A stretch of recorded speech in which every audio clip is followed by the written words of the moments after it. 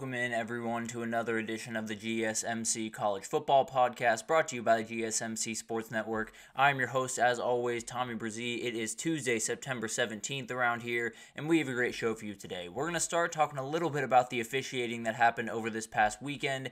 It was all over the place. We had a number of calls that went just ways that I did not even think they could go, a number of calls that we need to get into, and then how do we kind of fix this? How do we get this to be in a better place than it is right now? Because right now it's just all over the place. Then we'll get into the winners and the losers from week three. Definitely a lot I want to get into, including a couple around the UGA team. So I'll get into that in we in segment two. Then we'll get into the week three uh, whip around, do a couple of games that we just haven't gotten a chance to get to yesterday. Want to make sure I get them on y'all's radar. Then we'll get to questions of the week after week three. Definitely a ton that I have to get to today, and we'll likely continue that into tomorrow before I get into my top 12 teams going into the week four slate. So we'll get that at the very end of the show. Definitely going to be a very interesting top 12, no doubt about that. But before we jump in, I do want to remind you all we get tons of questions and comments throughout the show. And the best way for you all to get your question on the screen, we can have a fun back and forth here, is to use the tip and donation link at the bottom of the screen, gsmcpodcast.net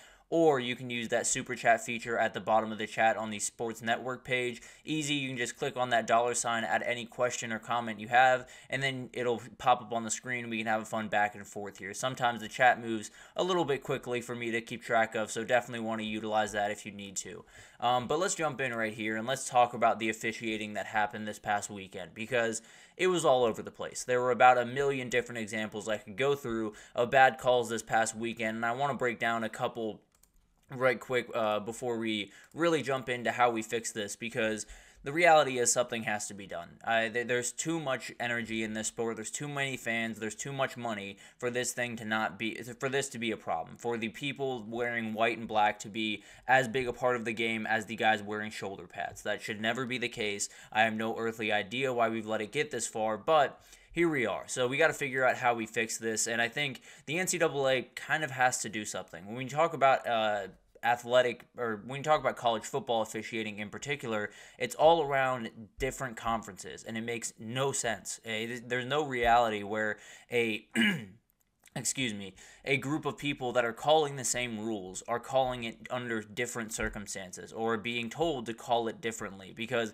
that's the reality. There are a number of examples of coaches. I believe Mike Gundy did this a couple of weeks ago in the Arkansas game where he was just genuinely confused because there were certain things that that crew was calling that a Big 12 crew normally doesn't call and that's what he's used to. So it totally changes a game plan. You have to figure out a way to make this at least a group, at least a full time group where all of these refs come from the same place, they are taught the same exact thing, and they have the same tendencies.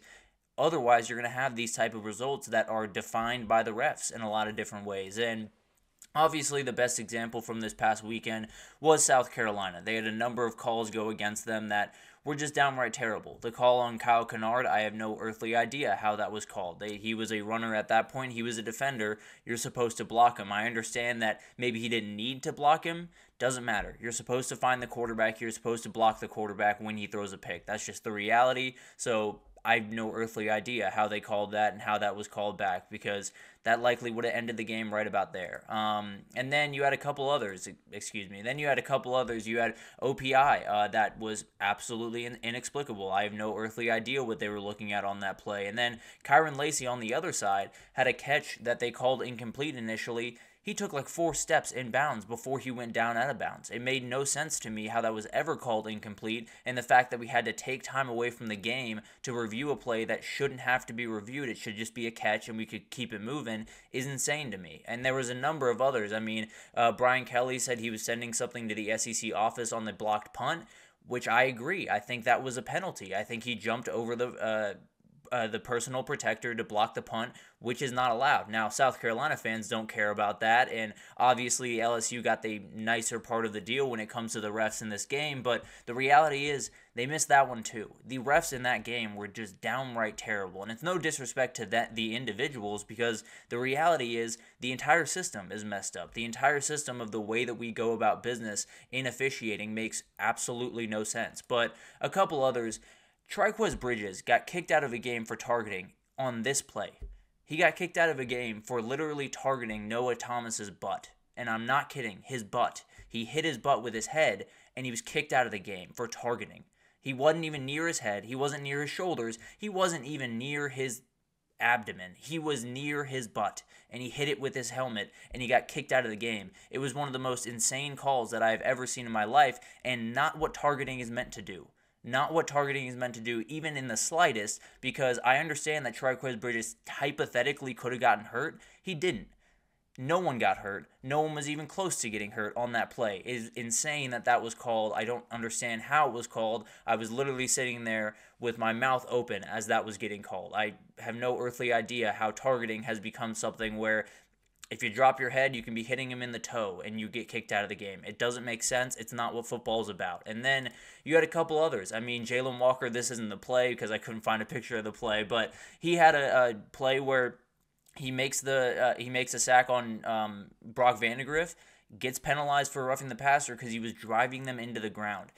I don't understand this rule. 99% of the time, when people are trying to finish plays, they're going to drive someone into the ground. It is football. It is going to happen. These things are going to be a little bit dangerous. I understand trying to protect the players. I totally get that. But you're also putting the defenders at a wild disadvantage if Jalon Walker can't finish a play.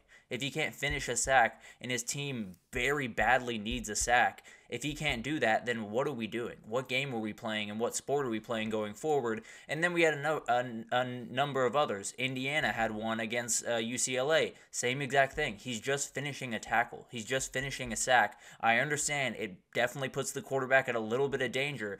It also puts the defender at danger if they have to think about a million things as they're trying to tackle a guy. So I don't understand this rule. I've never understood it at the NFL or the college level, and I probably will never understand it. Um, and then you had another one in the Oregon Oregon State game. Wish I could get a picture of this one because this was outright ridiculous. They got uh, Oregon got flagged for roughing the passer, and the Oregon player hit the uh, Oregon State quarterback's arm.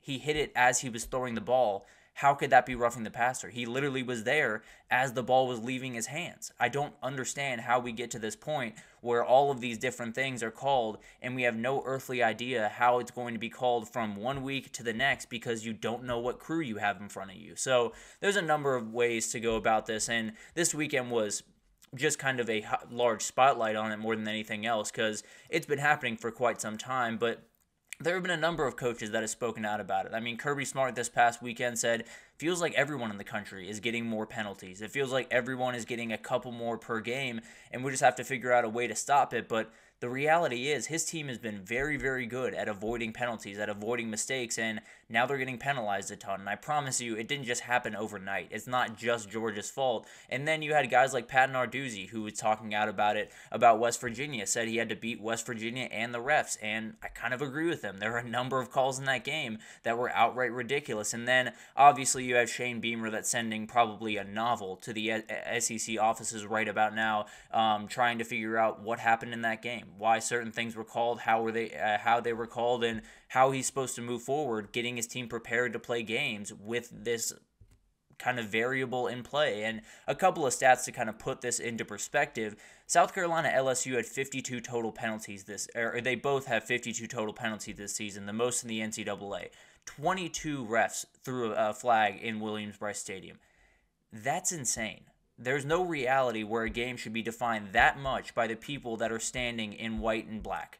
That never should be the case. It should always be the guys wearing helmets, wearing shoulder pads that decide this game, and then the coaches. But the ref should just be a supplemental piece to this game. They should just be a way to keep all these kids safe, to make sure that the rules are enforced, and to make sure that there isn't anything going on that aggressively favors one team they've been not been doing a good job by any means. Also, another stat: South uh, South Dakota State leads the country with 39 penalties through three games. That is undisciplined. I'm not arguing that it's not. They have more penalties right now than Air Force and Minnesota had all of last season.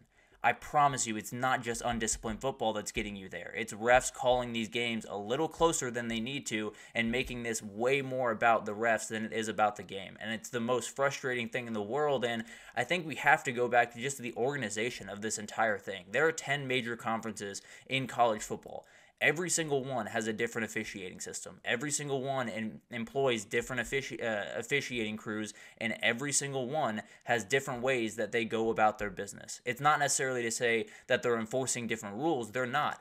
But the Big 12 crews enforce it differently than the SEC crews. That's what Mike Gundy told us after the Arkansas game, was very confused how that went about.